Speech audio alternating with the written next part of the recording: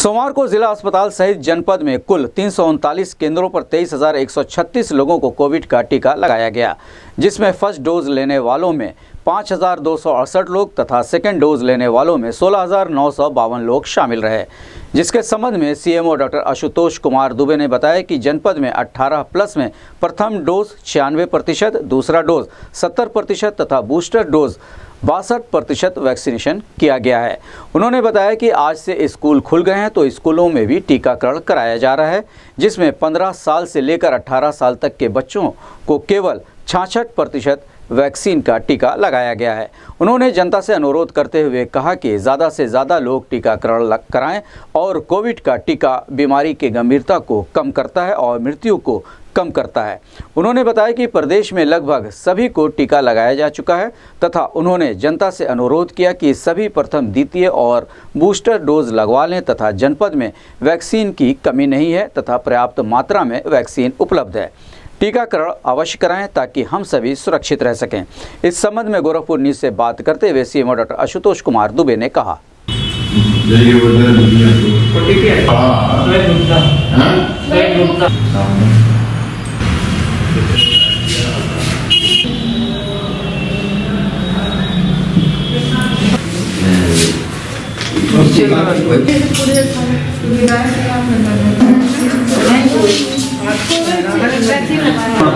Photo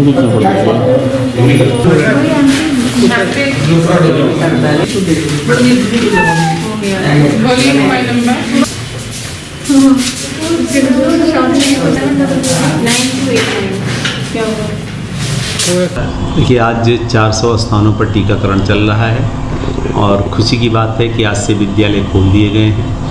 तो विद्यालयों में हम टीकाकरण करा रहे हैं, क्योंकि अभी 15 साल से लेकर के 18 साल के बच्चों में हमने केवल छाछठ प्रतिशत बच्चों को ही टीका लगाया है। तो हम प्रयास ये करेंगे कि अगले दो तीन दिनों के अंदर 15 से लेकर के 18 वर्ष के बच्चों का शत प्रतिशत टीका करा लिया है। 18 प्लस में हमने छियानबे प्रतिशत टीका लगा लिया है। इसकी द्वितीय खुराक हमारी 70 प्रतिशत हो गई है।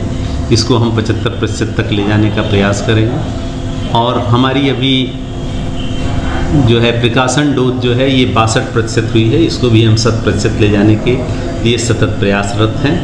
आपके चैनल के माध्यम से मैं आम जन से अनुरोध करूँगा कि ज़्यादा से ज़्यादा लोग टीका लगवा लें। और यह बात अब कोविड के उससे प्रमाणित हो चुकी है कि कोविड का टीका जो है बीमारी की गंभीरता को कम करता है और मृत्यु को कम करता है। जैसा कि तीसरी लहर के बारे में आप लोगों ने सुना, क्योंकि प्रदेश में सबको टीका लग चुका है लगभग तो इसलिए यहाँ पर बीमारी आई और चली गई, पता नहीं चला है। तो इसलिए मेरा सबसे अनुरोध है कि सब लोग अपनी प्रथम, द्वितीय या बूस्टर डोज जो ड्यू है, उसको तत्काल लगवा लीजिए। जनपद में वैक्सीन की कोई कमी नहीं है। हमारे पास पर्याप्त मात्रा में वैक्सीन, पर्याप्त मात्रा में सिरिंज, पर्याप्त मात्रा में वैक्सीनेटर उपलब्ध हैं। हम नित प्रतिदिन जहाँ जहाँ से हमें सूचना मिल रही है, मैं वहाँ पर अपनी मोबाइल टीम भेज रहा हूँ और अपनी टीमों को भेज करके टीकाकरण करा रहा हूँ। मेरा सबसे विनम्र अनुरोध है कि सब लोग, ज़्यादा से ज़्यादा लोग जो बचे हुए हैं, वो टीका लगवा लें, जिससे कि हम सबको सुरक्षित रख सकें।